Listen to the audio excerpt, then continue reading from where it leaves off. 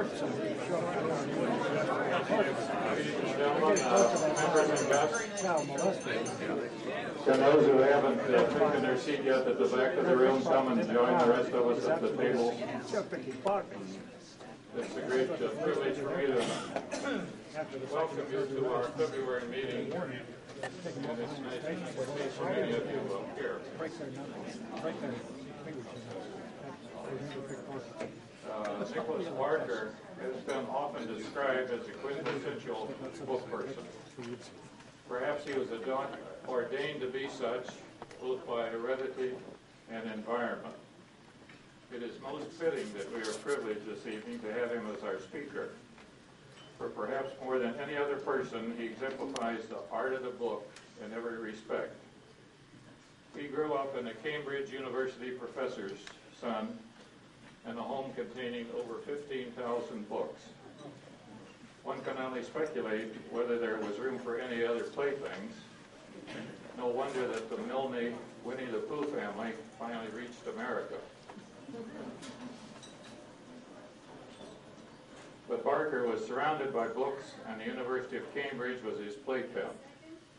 It was there that he first became enamored of printing, to such an extent that his father bought him his own printing press while he was still a child. He was labeled a voracious reader, a three-book-a-day child, and became an obsessive reader. Although we are fond of quoting Thomas Jefferson and his I cannot live without books, Nicolas Barker never had the chance to be without them, and every aspect of it. After graduation from Oxford, he moved into the reading of books, and after that, into the sensual apparatus of a book, or book design and publishing, in what he appropriately termed the engine rooms of the publishing companies, such as Rupert Hart Davis, the Macmillan Company, the Oxford University Press, and others. But the complexion of his book world changed in 1976 when he was asked to become the first head of conservation at the British Library, the most frequently used library in the world, what with its more than 15 million volumes. It's one thing to conserve books, it's another to ensure the maintenance of books frequently used and circulated. At the present time, he uh, claims to be retired, but I think perhaps he may be a little busier than before he officially retired. He is uh, well known for being the editor of the well-known journal, The Book Collector. He is a consultant and has charge of many different library projects and organizations throughout not only Great Britain, but also the United States and other countries. His own personal collection is described by him as being idiosyncratic. In his home, the books are everywhere. They are shelved in his rooms, his library, his study. They are shelved in his five children's bedrooms. They are shelved along the stairways. And yes, there are even shelves in the loo. Uh, I asked him about the kitchen, and apparently the kitchen is the only thing that is sacrosanct. There are no shelves in the kitchen. His books are the salvation of modern society to him with our present obsession with technology. Most recently, he has won distinction in the field of the identification and the validation of important manuscripts and books. Fakes and Frauds, if you wish, and that is the title of a book recently published. Uh, I have a copy of it here if anyone would like to see it. No one could be a more fitting speaker than Nicolas Barker for this club, founded to memorialize and honor the first English printer, William Caxton. Please join me in welcoming him, Nicolas Barker.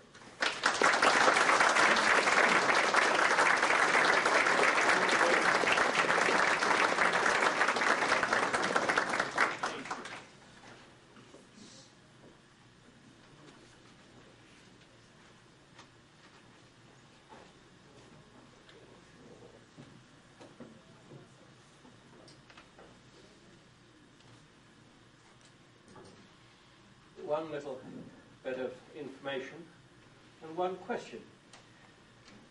Um, the largest and most extensive possessor of the forgeries of T.J. Wise, was one of the founders of, the, of the, this club, Mr. John A. Spoor.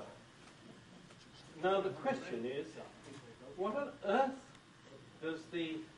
Am I not coming across? Hi, that better? Wh- What on earth does the Loyola University need a Gentile centre for?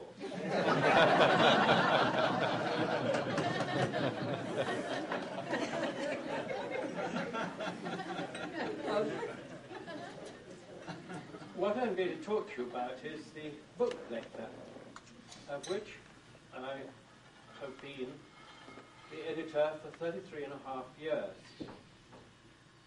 It was founded in 1952, a bit before my time. Indeed, before book collectors as such had become an endangered species. Book collectors were to be found all over the place in those days. They came in all sorts of different shapes and sizes. There was the sixpenny barrel, barrow model, whose books were not suitable, reason remarkable for condition, but were all of them bargains. There was the my favourite author type, for whom the first word, first edition, was originally invented. The tuppence coloured model, which specialised in colour plate books. And there were others who lived on local topography, private press books, law books, travel and discovery. There were even, in those days, one or two novel creatures who were foraging in the virgin forests of economics and science. But most important of all was the great transatlantic collector, which had been driven back to its native habitat, or reservations, by the war, and was still rarely found in the Eastern Hemisphere. But whatever shape or size they came in, book collectors led a free, unfettered life.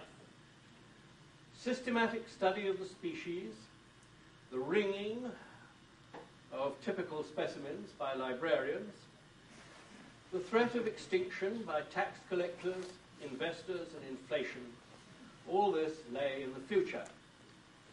It was indeed hard to draw systematic lines between such distinct species as librarians and collectors, or professionals and amateurs, and they all tended to be lumped together under the generic heading of book lovers. Bibliophiles, a word tainted by the suspicion that it ought to be pronounced with a French accent, was something that you read but did not speak about. with this in mind, you will have some idea of the constituency to which the first book collector was addressed nearly 30 years ago. Its ti- title referred to a state of mind, a kind, a kind of interest, rather than a particular sort of person. Something best conveyed by an apt parallel.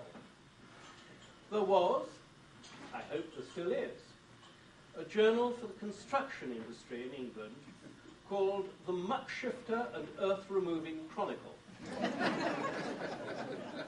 if you think of the book collector in that light, you will have some idea of what it is about. It is not about how to collect first editions, though you will learn much about it, that in its pages, nor how to tell the genuine article from fakes, nor how to buy cheap and sell dear, nor what it is worth. If this is all that interests you, there are other and better sources of information. The book collector will only offer you occasional help. What it does serve is that fraternity of book collectors in the sense that I have just described. There's always a distinction that is apt to be made between people who just read books and book collectors who collect them, admire their bindings or printing or just tap them, anything but read them.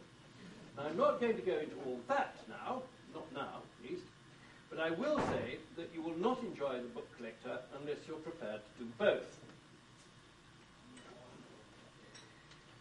I'm beginning to realize that I'm making it sound rather forbidding. Sound not only rather prim and proper, uh, but, but positively off-putting. And so back for a moment to its early history. In fact, if you'll excuse a rather Irish turn of phrase, the first number of the book collector was not really its beginning at all. In fact, if you were to buy a set of back numbers, like as not you would find, before the first volume, which rather tiresomely is in a smaller format than its successors, another little bunch of magazines, mostly no thicker than pamphlets, under the title of the Book Handbook. If, ve- if you were very lucky, you would find them already bound together. More often than not, they remain unbound because it is all but impossible to work out the order of the pages. Odd so- sections pop up in later numbers, intended, but not described as such, as supplements to earlier numbers. Indexes of what? Appear separately or attached to issues to which they do not refer. I still get despairing or infuriated letters about it. All this may be explained if I quote from a note which appears on page Roman 3, which follows a blank leaf following an index paginated 477 to 85. I'm not sure where I and II are, which runs as follows. This volume was issued serially in nine parts.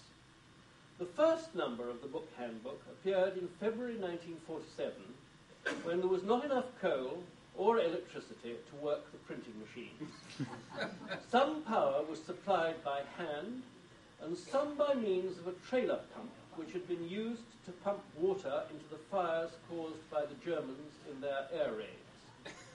The first six parts were printed on rationed paper by the Broadwater Press of Welwyn Garden City. The other three parts, pages 129 to 176, 439 to 476, by Messrs. W.S. Cowell Limited of Ipswich.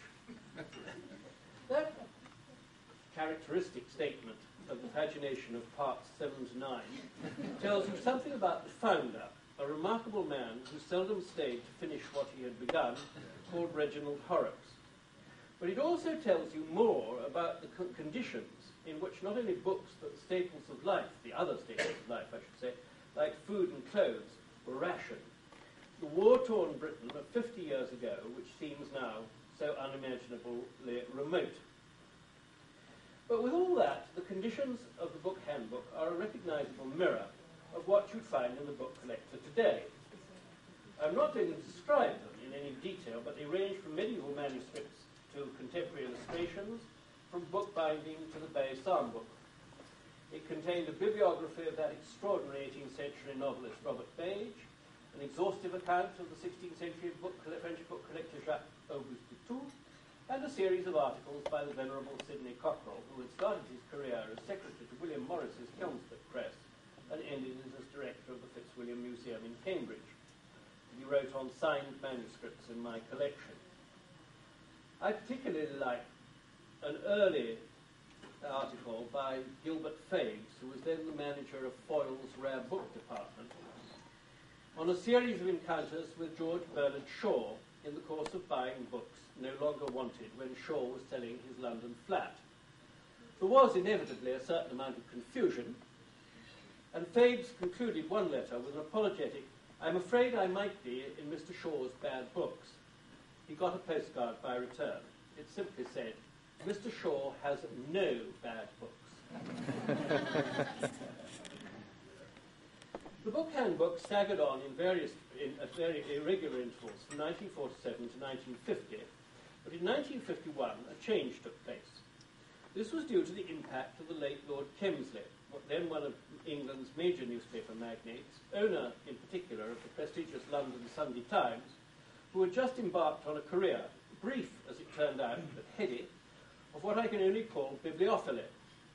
This embraced the collecting of books himself on the one hand and the establishment of, of publishing businesses, to which shortly afterwards a small printing shop was added, both bearing the same imprint, the Dropmore Press. Dropmore was Lord Kemsley's splendid country house. So, with a new enthusiasm and new funds, the book handbook entered a new existence with a new sense of order and method and even a new editorial board drawn from Lord Kemsley's associates. It became a quarterly, what was now called the second volume duly achieved four numbers. But, volume two was the last. Horrocks was an individualist who did not acclimatize to corporate life, even on this modest scale. Irreconcilable petty conflict resulted in the decision to close down the book handbook. This was, however, reckoning without the readers, who were determined that it should not die. A deputation of the most prominent and determined, among them Percy Muir, John Hayward, John Carter, and Ian Fleming, persuaded Lord Kemsley to grant a reprieve. The terms were that they should undertake the management themselves. And this change of management indicated a change of title, and so in 1952 the book handbook became the book collector.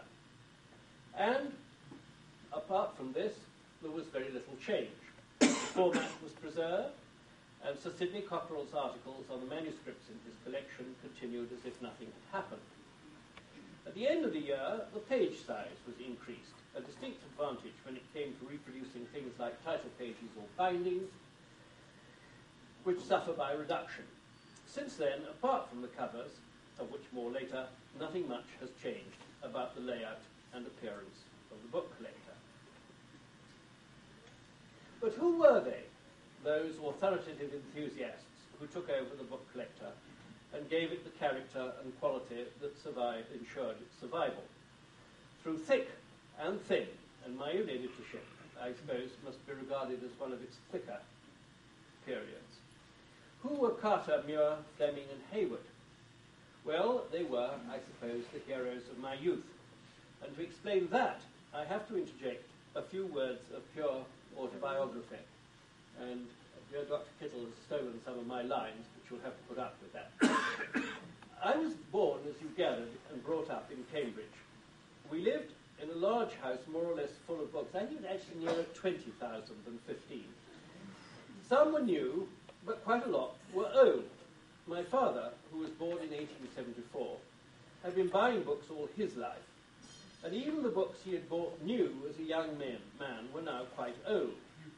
Besides, in his young day, old books were quite cheap. I still have his Folio Euripides, printed in Basle in 1564, and it has the price he mar- had that marked inside it, which he paid. Eight shillings and sixpence, seven shillings cash. Those were the days when university booksellers were happy to give unlimited credit to young academics. At eight, at eight, eight shillings and sixpence, or seven shillings, it was a lot cheaper than the brand new Oxford classical text, which cost ten shillings and sixpence. But besides my father's old books, Cambridge had three other assets as, I, as far as I was concerned. A university library from which senior members of the university were allowed to borrow books, a university press, world famed for its fine printing under the watchful eye of Stanley Morison, the greatest authority on that subject of this century, and David's bookstall, the stall in the market where old Gustav David would set out the books he had bought cheap and still priced cheap every week.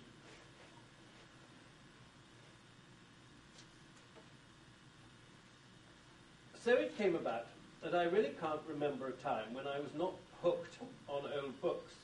I still have the 1651 Elzevir Catullus that I bought when I was 10 from David for sixpence. It was a whole week's pocket money in those days. I can still remember the excitement of reading the first English encyclopedia, Bartholomeus Anglicus de Proprietatibus Rerum, in English. I was not that precocious.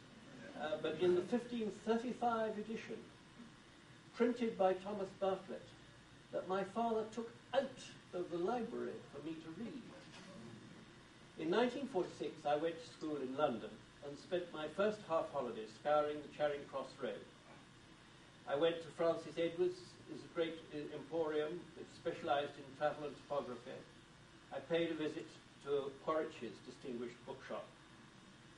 And uh, if you want to know more about that, the book collector, I'll be coming to this, can tell you more. London led to a new enthusiasm. Much of it was still blitzed in those days, and at the end of the school garden, between it and the Houses of Parliament, was a small printing book works that had been struck by an incendiary bomb. Anything usable had been moved out of the shell, but there the remnants still stood, waiting for renovation or demolition, the punctured roof roughly covered with a tarpaulin that flapped in the wind. I discovered that if you climbed up a drain pipe and wriggled under the tarpaulin, you could still get in through the hole in the roof made by the bomb. So I got an elementary book on printing out of the library and some wire and ink from a handicraft shop and laboriously taught myself to set type in a warped and rusty composing stick and to print it on the one dilapidated old treadle platen press that obviously had been left behind as not worth moving. I still blush when I look at my 13-year-old apprentice effort and wonder how anybody could have been so blind to every canon of good printing and typographic taste. But better things were at hand. I went home that Christmas and asked my father for a printing press. He went to see Walter Lewis, the university printer, and Lewis said, well, that's quite a coincidence.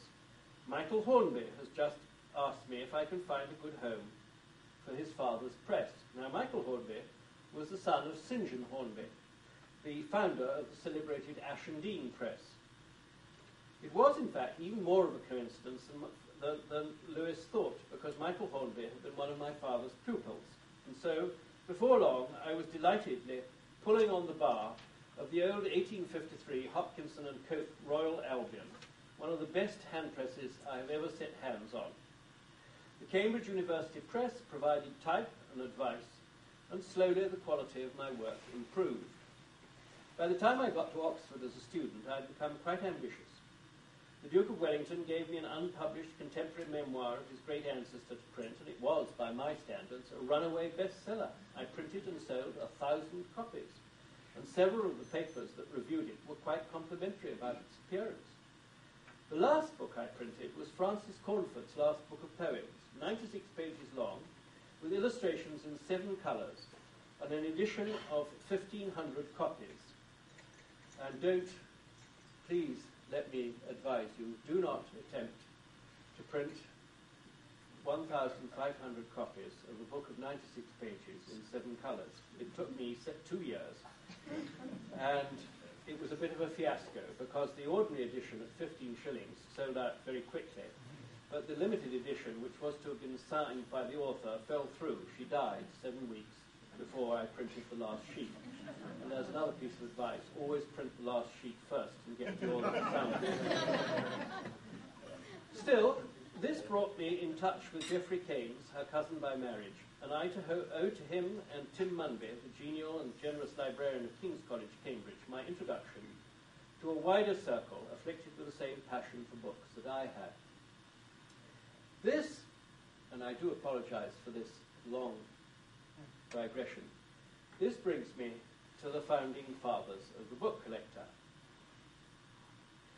John Hayward was and remained the most powerful. Although a cripple, multiple sclerosis had begun to set in while he was the brilliant undergraduate editor of the works of Rochester. And now confined to a wheelchair, he conducted business from a desk in a bay window overlooking the Thames on Cheyne Row. Until recently, he had shared this flat with T.S. Eliot, whose muse and critic he had been during the writing of some of his best poetry. If you want to know more about this extraordinary association, I can't too strongly recommend Helen Gardner's fascinating and sympathetic account of it in her study of the four quartets. This had come to an abrupt end with Eliot's second marriage, and there was a new edge to John's always mordant command of those who came to him. Everyone did come to him. Printers came to have their proofs excoriated. Poets abided his merciless tongue for the quality of the creative criticism he provided. Librarians and book collectors came to listen to his fascinating and malicious gossip. No one could leave him without quailing at the thought of what John would say about them, now behind their backs. None failed to come back for fear of what he would say if they did not. None of this gives any suggestion of the magnetism and charm of this extraordinary man who turned all his weakness into strength, his once handsome face now gargoyle, his legs immobile, only one arm moving, but that capable of still writing a beautiful hand. He dominated the early years of the book collector.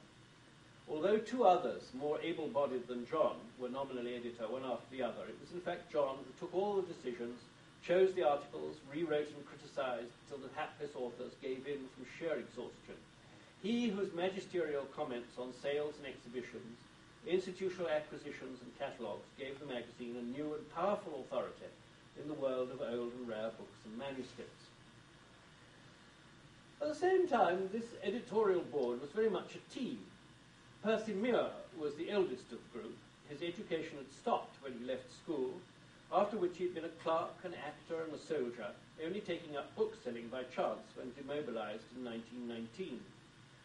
How he became partner and eventually the owner of Elkin Mathews, that great name of the 90s, and then in the 20s and 30s, the most adventurous and scholarly of antiquarian booksellers, is a tale that he told in the pages of the book collector and subsequently reprinted in his autobiography, Minding My Own Business.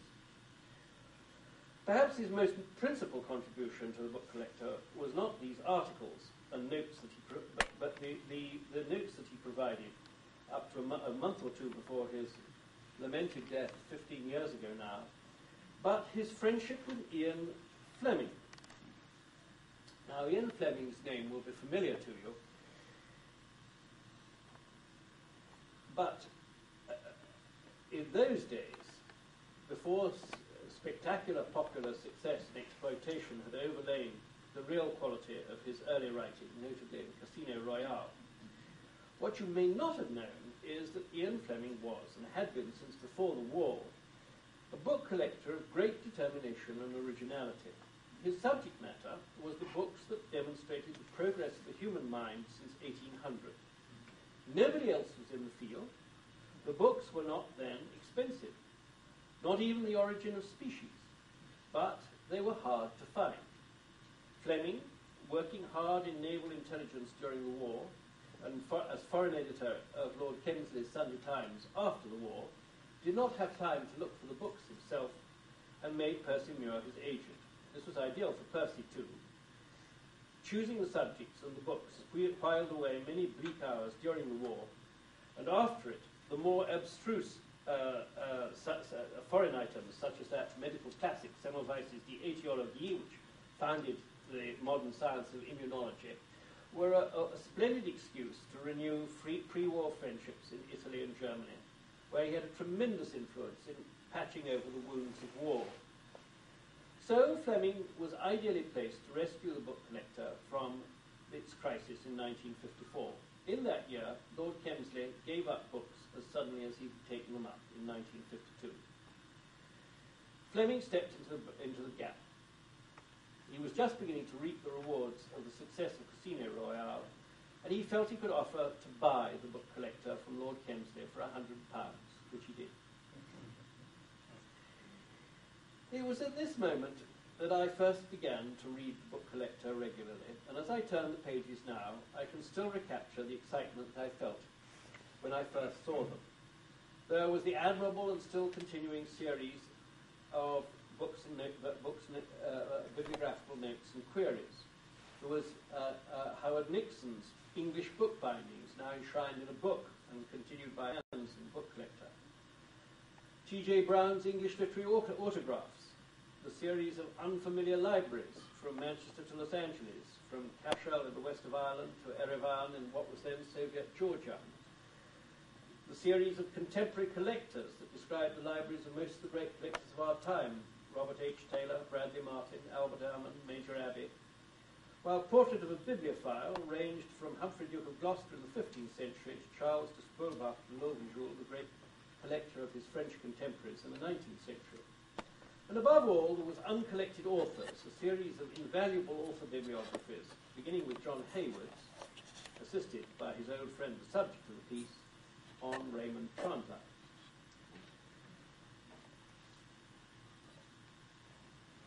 I was, it was, I suppose, natural when I came up to London, Oxford over, to work in a publishing firm, I got gradually sucked into this vortex.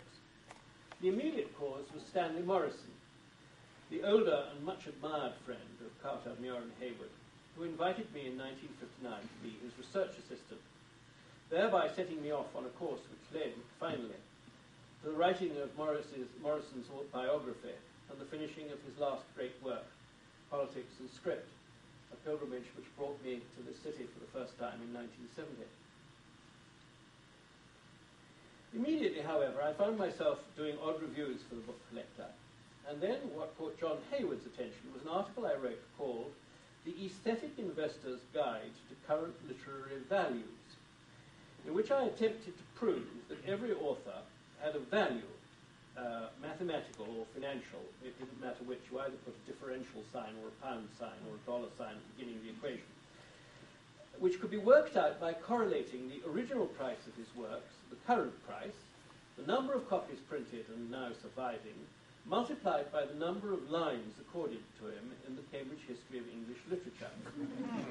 John Hay- Hay- Hayward was amused by this. It sent up both the book trade and the academic lit crit with impartial abandon. I read it myself the other day. It really, I, I thought it was quite funny, but I'm afraid I'm And so I was admitted to the terrors and delights of tea at Carlyle Mansions. John's conversation was ribald, erudite, and riveting. I learned much and began to be less afraid. I even took our eldest child to see him. She was still crawling then, and John fed her very sticky chocolate cake and watched with cheerful malice in the hope that she would spread it on the T.S. Eliot manuscripts on the convenient lower shelf. What I did not realize was that John, him, immobile, had become had begun to become dependent on me. People used to say that he kept alive on willpower alone. With his terrible disabilities, you felt that it was the activity of the mind, the endless curiosity about other people, that forced his reluctant limbs to the little activity they could compass. He lived vicariously through the activity of others. And in 1965, it so happened that we had no holiday until October, when we were to snatch a bare week, starting on a Friday. That day, John rang me up with some question about a review which I couldn't follow. He had no muscular control of his mouth by then, and this was apt to prolong his long telephone calls still further. In the end, I gave up. John, I said, I'm off on holiday today. I've got nothing else to do. I'll come and see you. So I went down to Cheyne Mansions and we sorted out the problem. I still didn't quite see what the problem was. And as I was going, he said to me, You will make sure everything is all right, won't you? I said, But John, you'll be here. You can look after it. Yes, he said, but I want to be sure that I, you will if anything goes wrong. I was puzzled by this insistence and said, Of course I will. And I went off on holiday. That night he died. And three weeks later, I was at his memorial service in St. Luke's, Chelsea. A sinister posse, Muir, Carter, Munby, rounded me up after it. As I stood against the wall of the north aisle, I looked at them, their hats well pulled down, their hands deep in their overcoat pockets.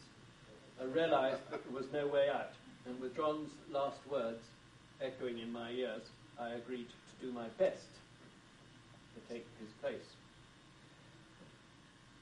And somehow, 33 years later, we're still here. I still wonder at it. I was plunged immediately into a financial crisis. Ian Fleming had died shortly before John, and the cumulative effects of the tax on their two estates swallowed up all the book collectors' reserves. We survived that, and we survived the death three years later of our printer, James Shand, of the Shenval Press. But the greatest of all the losses came in 1976, with the death of the kindest and closest of friends to the book collector and its editor, John Carter. Jake, as many knew him, was as distinguished in person as he was in mind a scholar of King's College, Cambridge. He was for many years manager of Scribner's Rare Book Department, and as such made a host of friends in this country, and with his Savannah-born wife, Ernestine, made more as attaché at the British Embassy in Washington.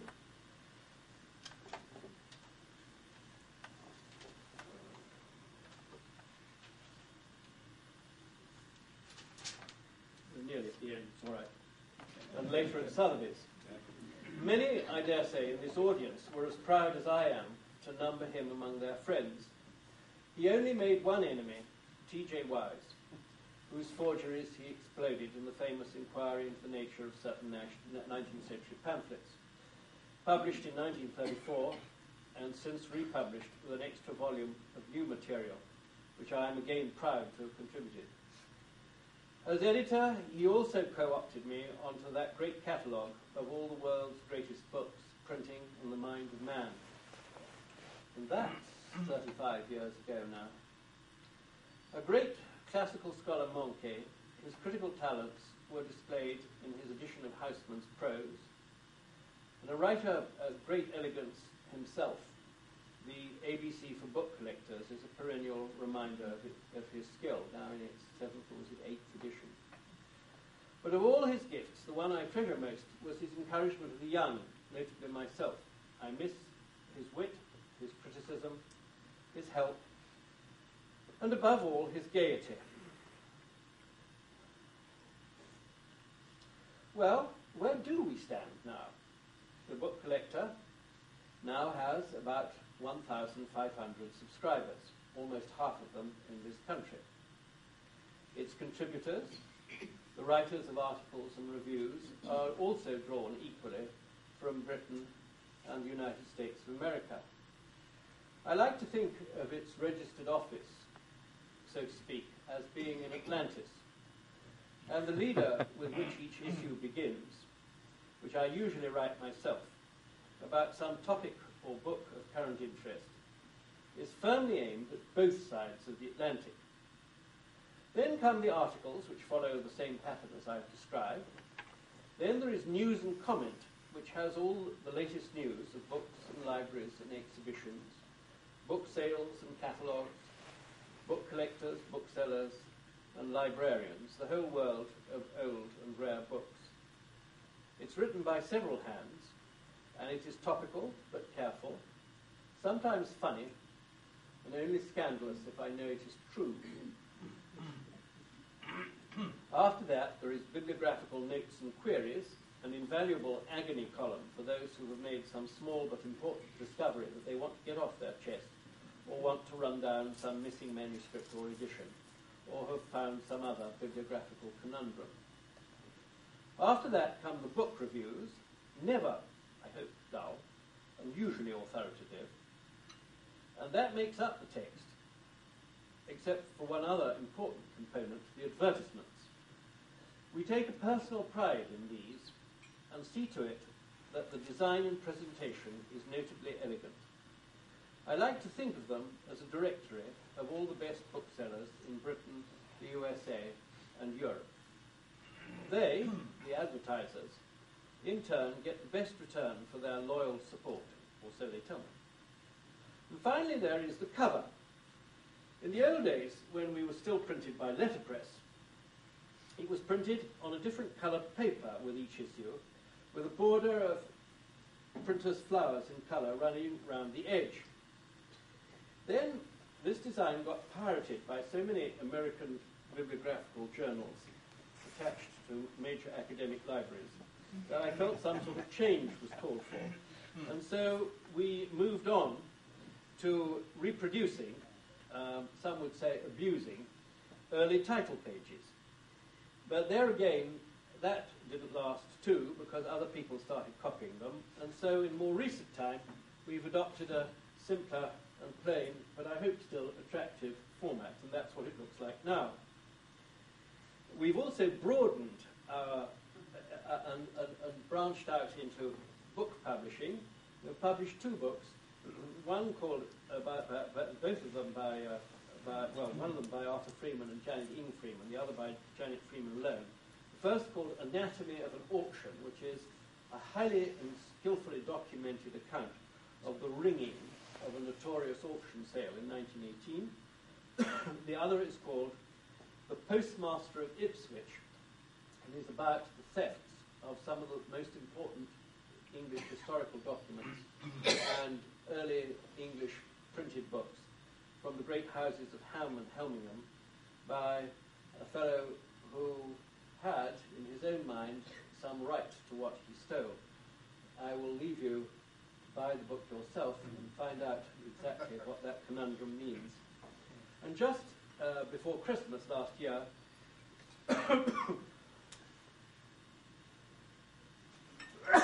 sorry, we celebrated the, centi- the 150th anniversary of Messrs. Quaritch, the famous booksellers, with a special issue, which, as I showed you earlier, bears their name upon it. And that takes me back 50 years to when I first crossed the threshold of that firm. Well, at any rate, by hook or by crook, we are here. Book collectors, as such, have now become a closely studied species. Gone are the free days of the 50s, rarely found outside wildlife parks, like book fairs, or reservations, like libraries. But somehow they survive, and so does the book collector. A new generation of subscribers and contributors is beginning to enjoy and renew the tradition that started all about 50 years ago. It is, I like to think, a distinctive and even admirable tradition, one that brings individuals and institutions, collectors, booksellers, and librarians a bit closer together. I cannot but feel myself any more than a link in the chain. If I have given myself more space than that this evening, I'm sorry. But the journal itself is a better record of what it stands for than the chronicle of its editor. And if anybody feels disposed to find out more, please let me know. There are a few forms brought by our kind host evening, who has, uh, which I can give to anybody who'd like to take one and fill it in. There's a copy or two which you may look at but not take away. And thank you for listening to me with your usual generous patience.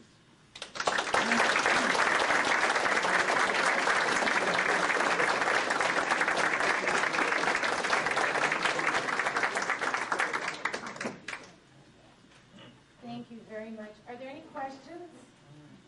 Glenn? Uh, You've certainly made a number of wonderful characters come alive for us this evening, and I thank you for that. And I wonder if I might ask you to say another word or two about Mr. Munby, who is someone that I have a particular interest in. Ah, well, Tim was pure gold all the way through.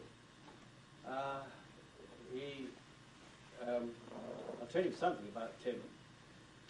Before the war in the 30s, he had been a book scout for Sotheby's, and it was his job to go around the country in an old motor car, uh, looking for books which people might sell at Sotheby's.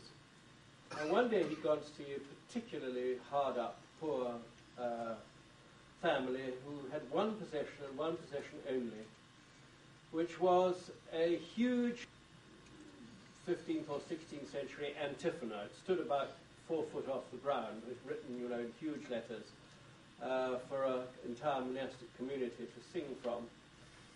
And these things are as common as common can be.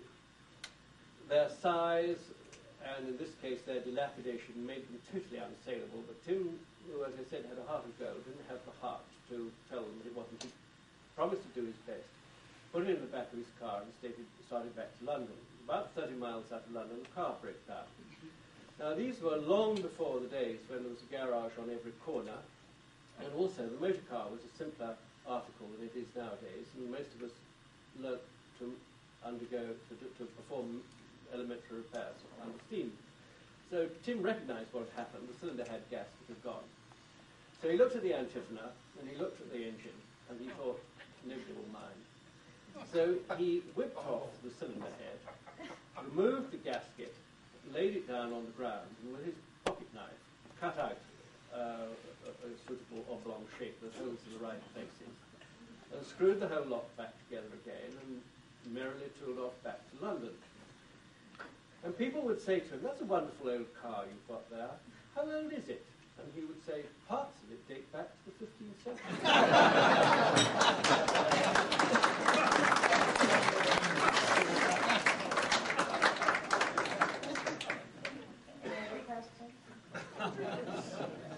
Thank you so much.